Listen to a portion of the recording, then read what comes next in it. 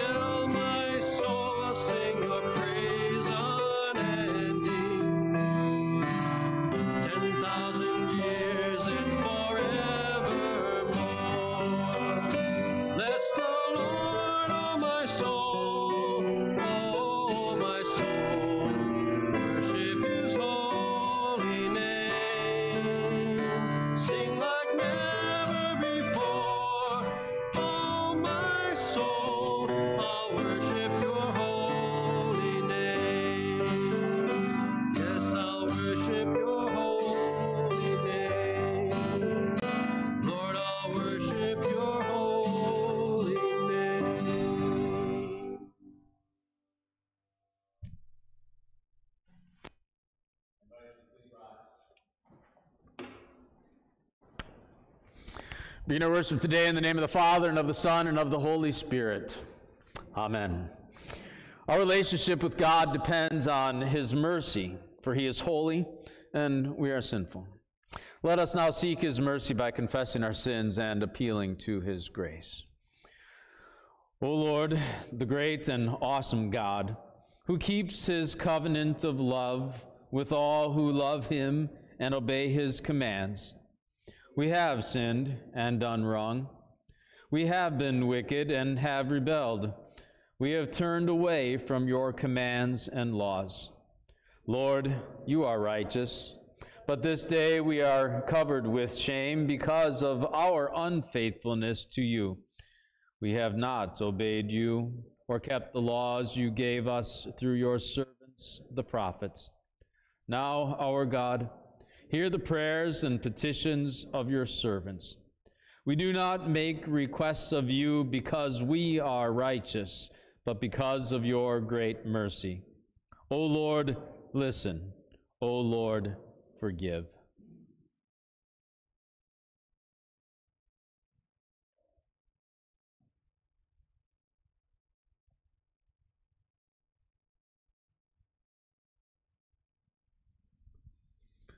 Out of his great love for us, our God has had mercy on us. For the sake of the suffering, death, and resurrection of his Son, Jesus Christ, we have been delivered from the power of sin, death, and the devil. As a called servant of Jesus Christ, and by his command and authority, I forgive you all your sins. In the name of the Father, and of the Son, and of the Holy Spirit. In this peace of forgiveness, we praise you, O Lord.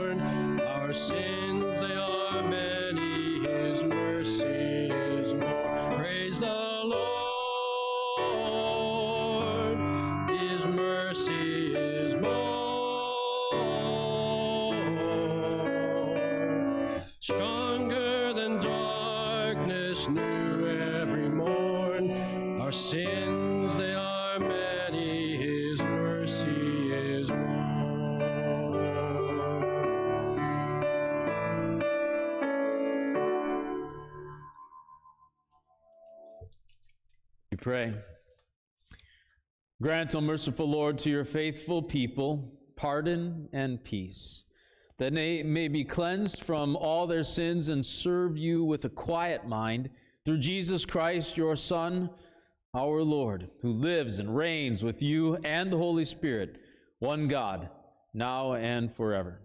Amen. You may be seated.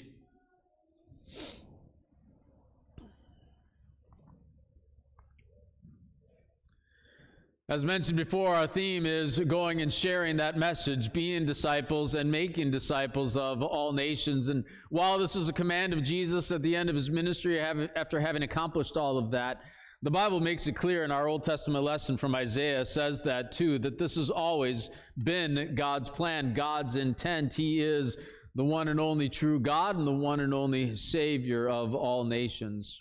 And how beautiful are the feet of those who, who do that work and, and share that message.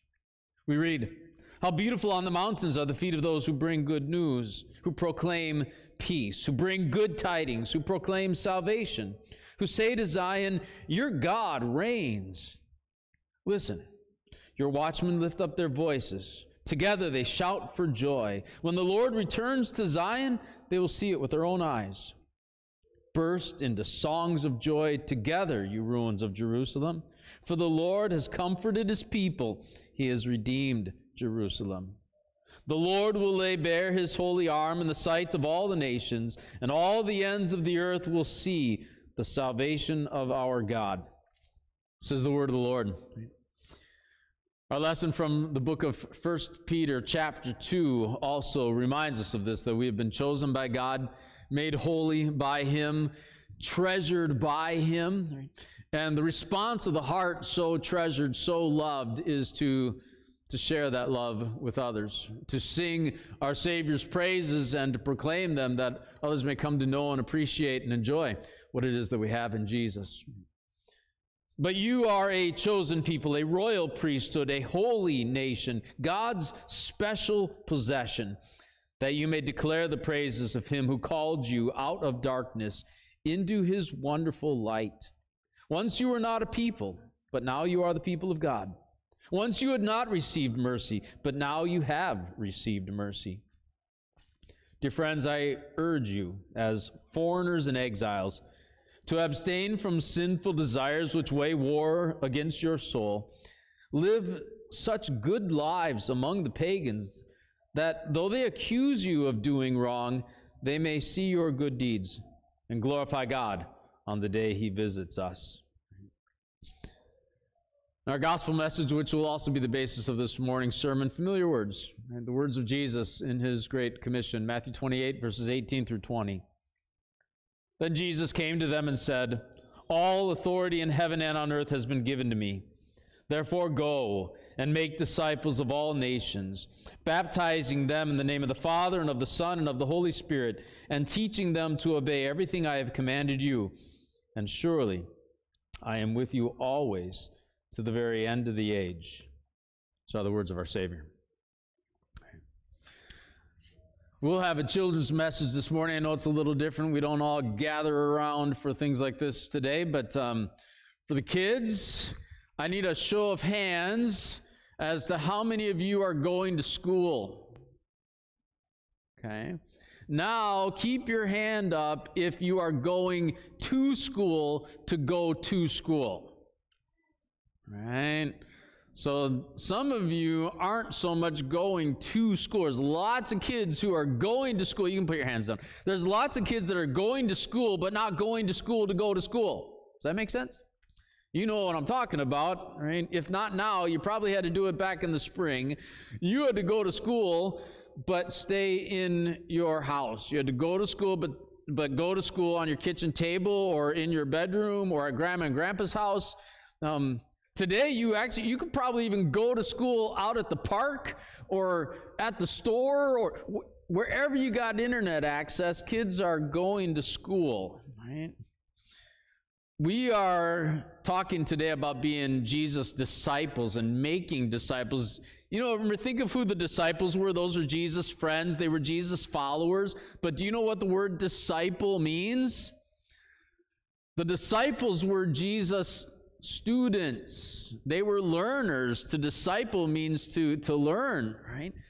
So the disciples were Jesus' students. And where did Jesus teach his students? Did Jesus have a school that the disciples had to sit in class with him? No. Jesus taught his disciples when they were just they were walking along from one place to another. Jesus taught his disciples sometimes out on a boat, out on the lake. Jesus taught his disciples in town when he's working a miracle on the side of a, of a hill someplace, right? Jesus was able to teach his disciples where, you know, in all sorts of places. And and we can too, right? You learn about Jesus at church. Maybe you learned about Jesus at a at our school, at a Christian school. Maybe you learn about Jesus at Sunday school, but you also can learn about Jesus when mom and dad talk to you about Jesus or teach some lessons at home. You learn about Jesus anywhere you've got a Bible. In fact, you don't even need a Bible anymore, right? With your computer, with your phone. The Bible's right there. We can learn from Jesus in all sorts of places today. And the point of today's lesson is that Jesus wants us to be disciples, not just in church on Sunday, not just at Christian school on, but he wants us to be his disciples when we're at the store, when we're at home, when we're at the park, Right? Because being disciples of Jesus is something that doesn't just isn't something you just do when you're around church. We are disciples of Jesus everywhere we go. And Jesus uses that, right? To make disciples of others as we show love and kindness and patience and forgiveness and, and gentleness and you know and control and and right those are all things that Jesus works in us right? and Jesus uses to, to teach others, right?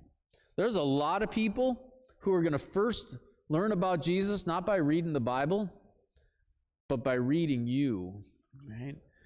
Watching how you live and walk and, and treat others and talk to your parents and take care of your friends and your brothers and sisters.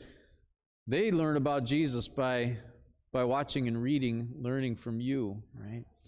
Jesus says, You are my disciples to make disciples of others, right? Thank you. Right? Let's offer a short prayer. Dear Lord Jesus, we thank you for being making us your disciples, for being our Savior and calling us to faith and teaching us day in and day out through your word and sending your Holy Spirit into our hearts for that. We also thank you as we continue to grow to learn about you, that we also grow in being able to live like you. We pray that you would let others learn about you as they come to know us and to know that we are one of your disciples. Thank you, Jesus. Amen. Let's continue our worship with the singing of the next hymn, um, hymn 573, but I believe it's up here. Hark the voice of Jesus crying or 283. along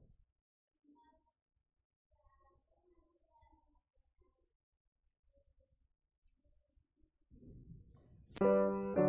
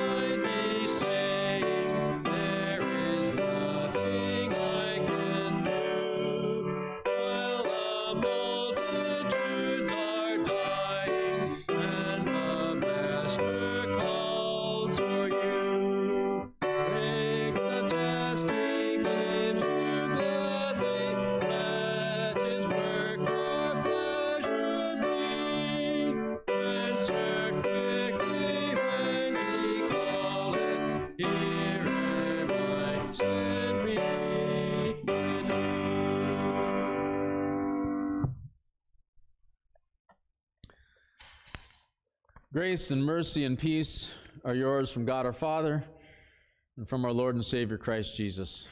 Amen. As mentioned before, our, our sermon is based off the gospel lesson, Matthew chapter 28, and we will refer to those words in, in a few moments. I'm sure that many of you are familiar with the TV show Undercover Boss. Uh, the idea behind the show is that some high level executive, usually a CEO or the vice president of the company, assumes a different identity, and for three, four days, uh, in a variety of different roles and different locations throughout his company, he, he goes undercover. Right? The thought of it is this that that high level executive cannot, does not understand how the decisions that he makes in his, his cushy corporate office affect the people on the front lines of the business. Only by going undercover, only by spending time doing those tasks, interacting as a peer with those fellow employees, is he really able to understand what's going on? Is he really able to understand what those employees are experiencing, how they're feeling, what they're thinking about things?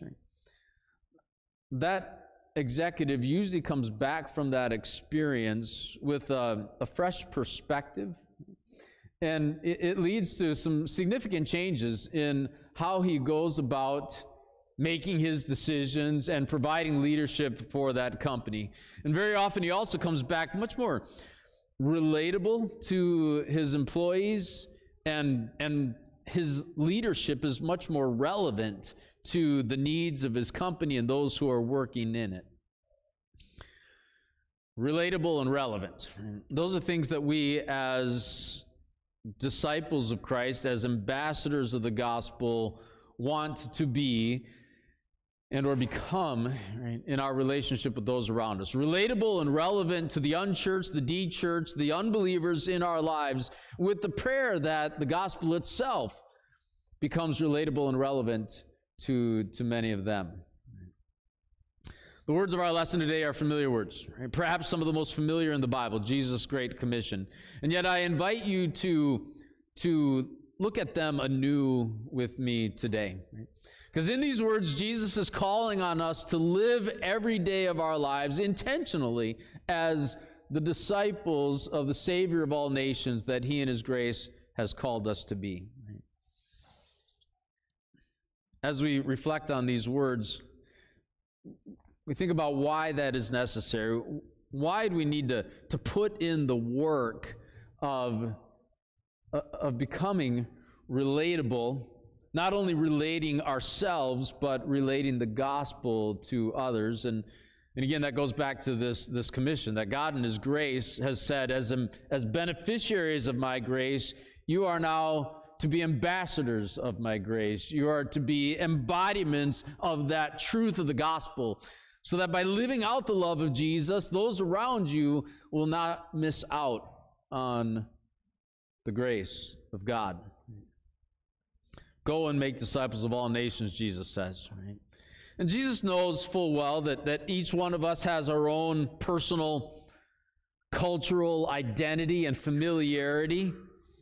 And yet, in spite of that, he says, Go and make disciples of, of all nations, not just those who look like us, think like us, act like us, but but all people of all nations, right? And again, this takes work. It's take, it takes work because the lives that we live today as 21st century Christians is in many ways altogether different from those who do not know and enjoy that relationship with God that we have through faith in Him. That we live two entirely different cultural contexts. I mean, yes, we drive the same streets, we eat similar foods, we work similar jobs, we, we hike the same nature trails, we might even enjoy many of the same forms of entertainment.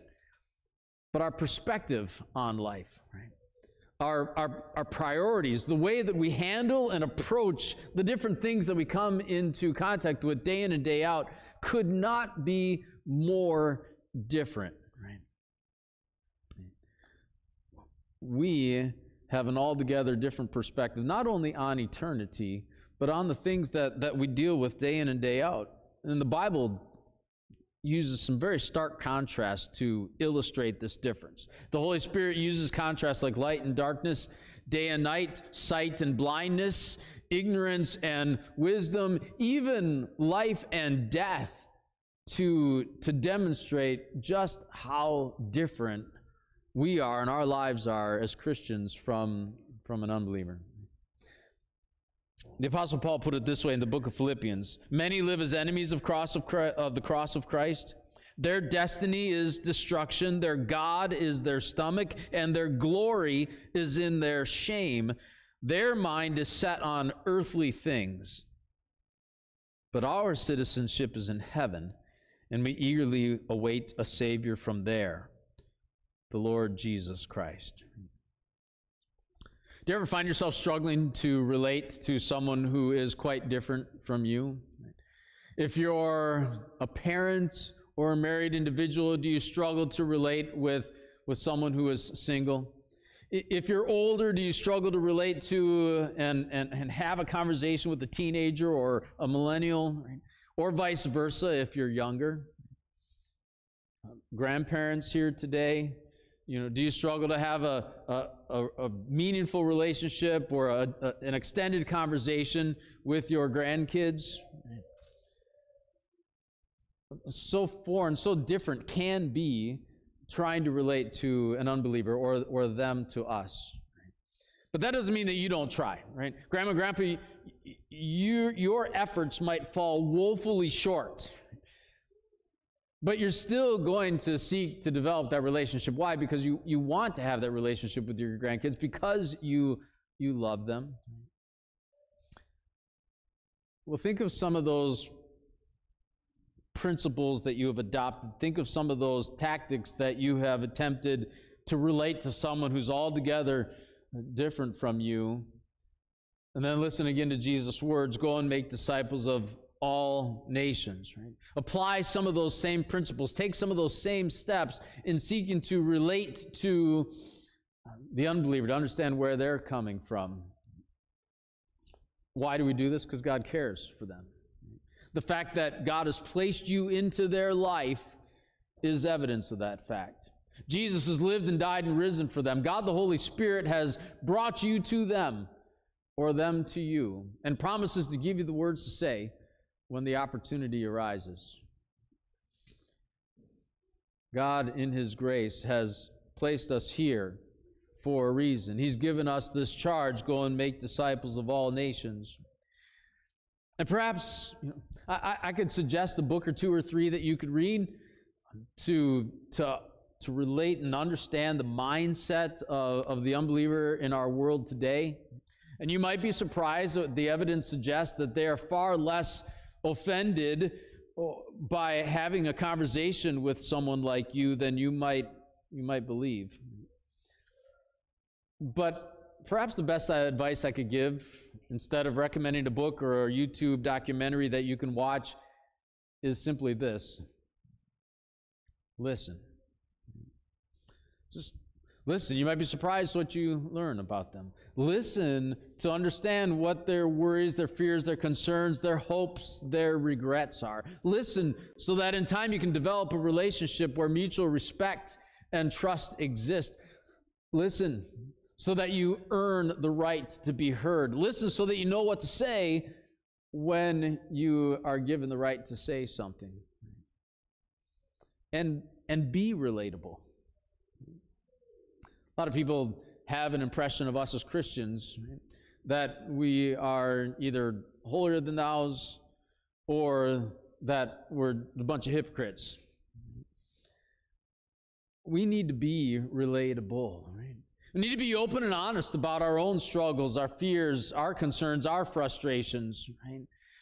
We need to be able to relate and understand, open up, and be transparent about our own our own weaknesses, about the times that we have been tested in our faith, the times that we have been less than, than we know we can and should be as the disciples of Christ and followers of Jesus, that we have had to flee to the Lord in prayer and to His Word for comfort, for forgiveness, for our own healing, for encouragement, for hope. Right?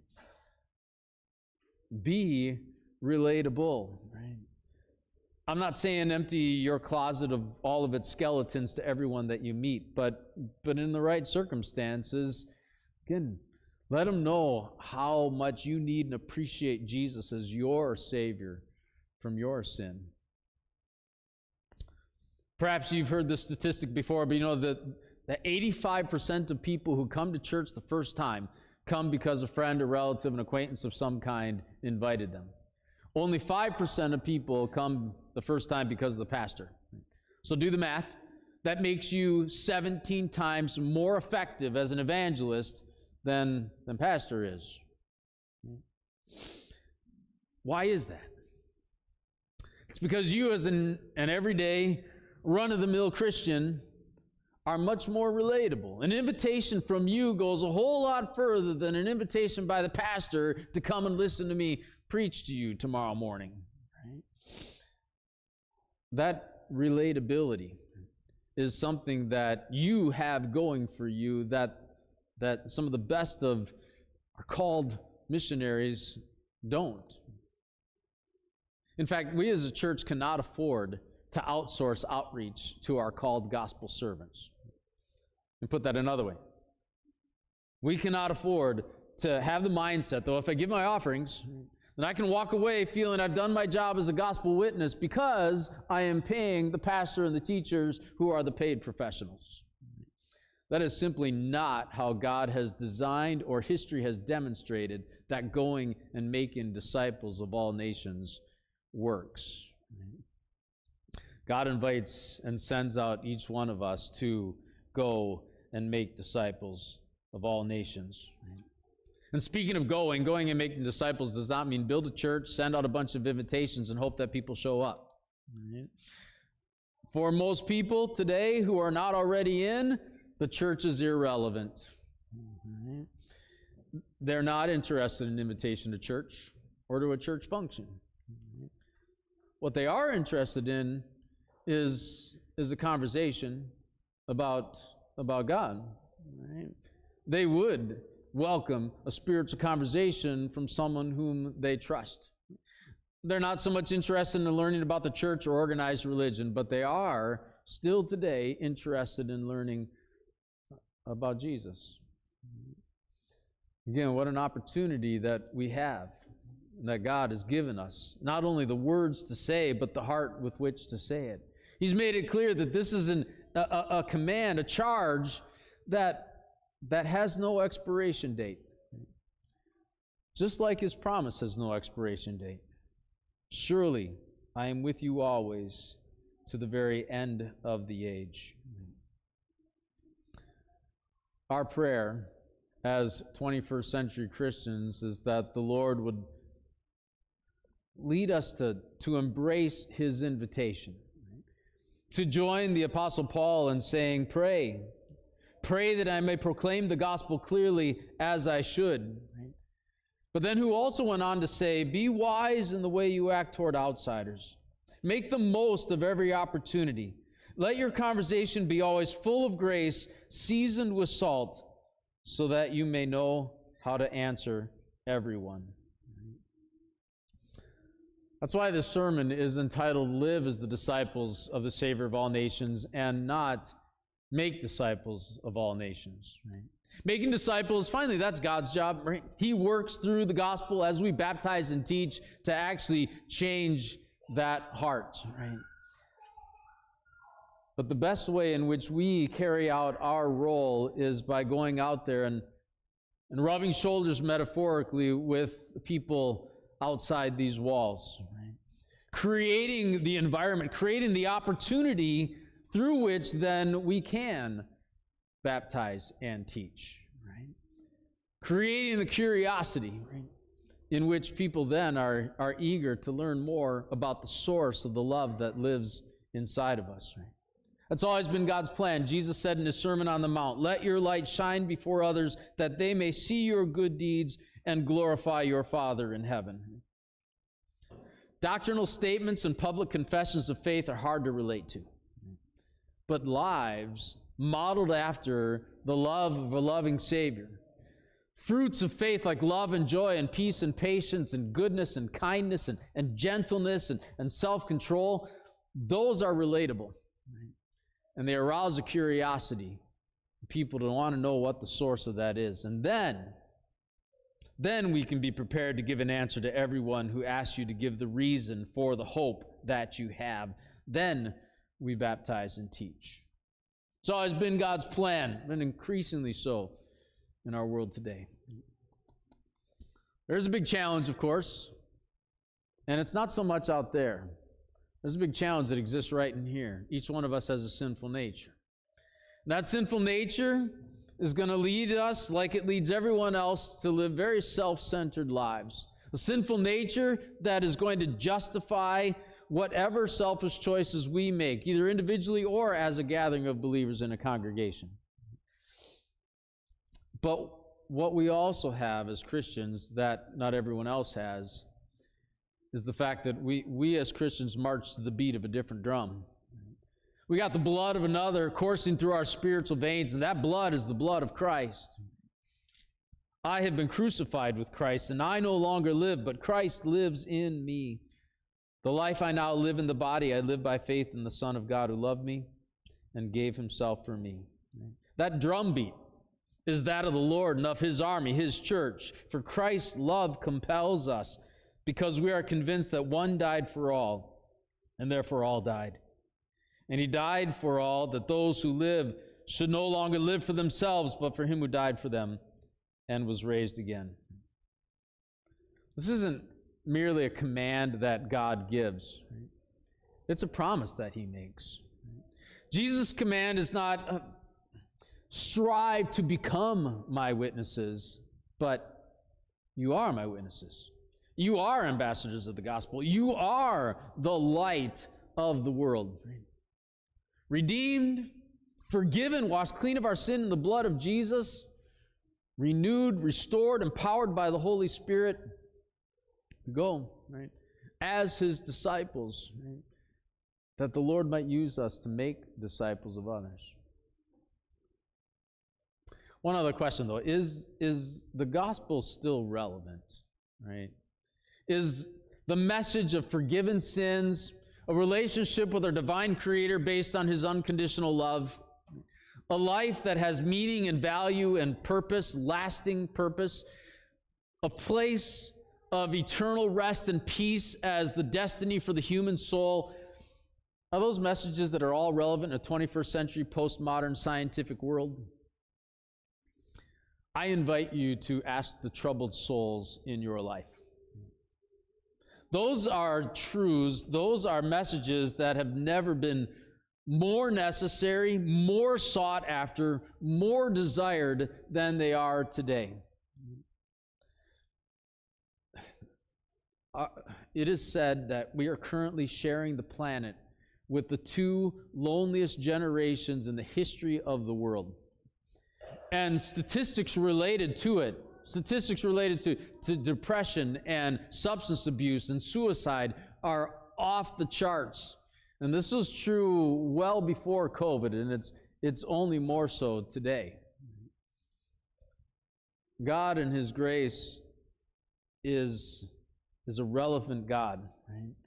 Who has a relevant message, a message of forgiveness and peace and love and life.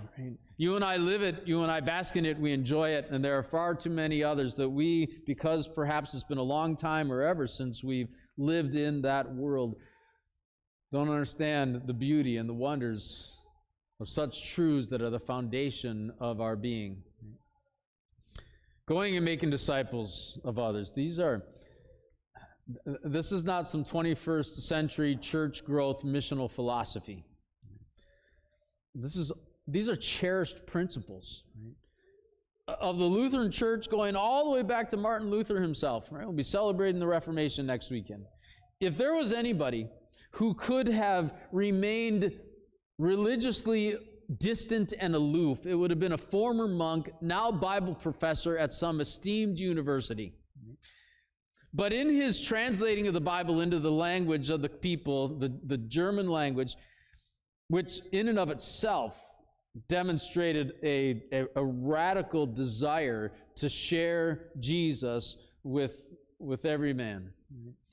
Martin Luther did his, some of his research by going down to the marketplace and just hanging out talking to and listening to other conversations, listening to how people were talking, what the words they were using, the phrases that they used to communicate things. Why did he do that? Because he wanted to use those same words, those same phrases to communicate the words, the teachings, the concepts of the Bible.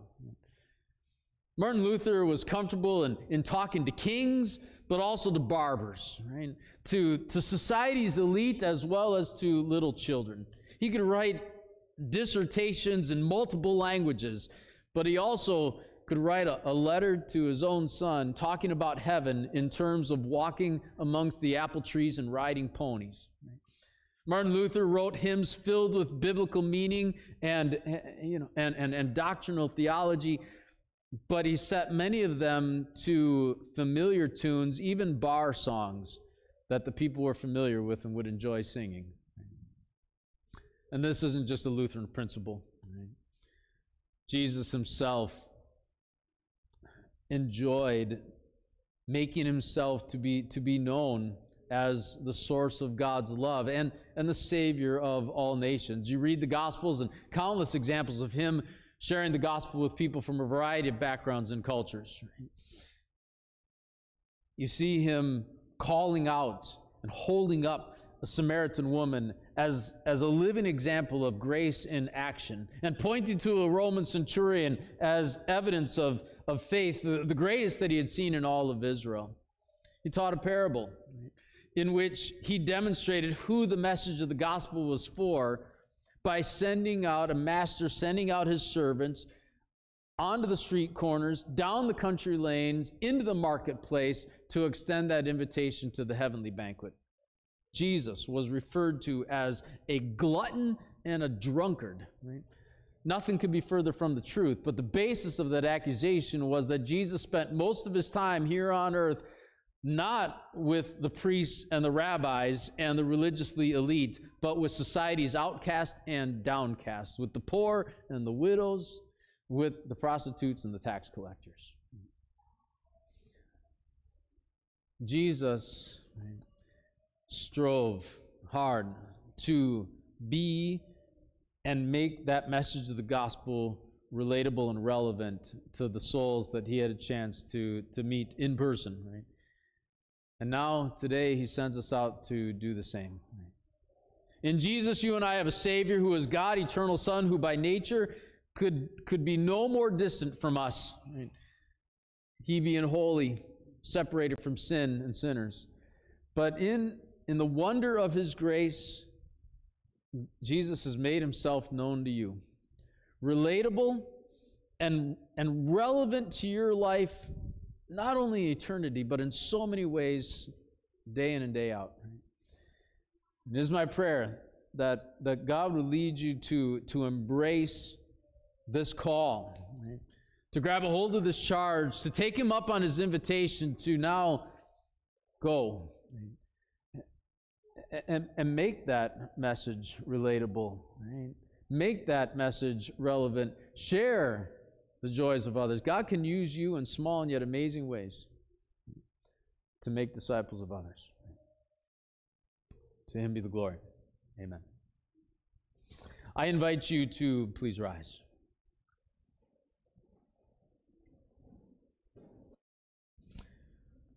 We'll now confess this Christian faith of ours in the words of the Apostles' Creed. Together we confess I believe God the Father Almighty, maker of heaven and earth. I believe in Jesus Christ, only Son, our Lord, who was conceived by the Holy Spirit, born of the Virgin Mary, suffered under Pontius Pilate, was crucified, died, and was buried. He descended into hell. The third day he rose again from the dead heaven and is seated at the right hand of God the Father Almighty. From there he will come to judge the living and the dead. I believe in the Holy Spirit, the holy Christian church, the communion of saints, the forgiveness of sins, the resurrection of the body, and the life everlasting. Amen. We pray. Dear gracious Lord God, Lord of the church, we thank and praise you for that gift of forgiveness, that gift of salvation, the gift of faith by which we come to enjoy and embrace these wonders that are ours under your grace. We thank you for those that you have used in our own lives to bring and then continue to confirm that gospel upon us. We pray that you would lead us to increasingly grow in our appreciation for the role that you would have us play in our world and in the lives of those that you have, have put into our life. We pray that you would lead us all the more to appreciate the value of the light in the midst of the darkness and to cause that light to shine brightly. We pray that you would allow our conversations to be full of grace and seasoned with salt. We pray that you would allow our days to be filled with those fruits of the Spirit, and that you might then use them to create an audience by which we may then have the opportunity to communicate your love in your words of salvation. We pray for those missionaries and pastors and teachers who, who go out of their way and go in places that we ourselves cannot go. We appreciate the work that you have and continue to accomplish through them. We also pray that you would lead us to recognize each one of us, our roles as missionaries, the place that you have placed us in, the lives that you seek to reach and to touch through the lives that we live. Each one of us now brings before you an individual in our homes, on our jobs, in our neighborhoods, that we particularly pray that you would create an opportunity, that you would open the door for us to witness of your love. With them in mind, dear Lord, we now also come before you, offering our prayers and praying as you have taught us to pray. Our Father, who art in heaven, hallowed be thy name.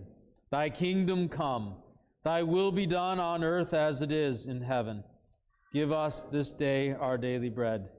And forgive us our trespasses as we forgive those who trespass against us. And lead us not into temptation, but deliver us from evil.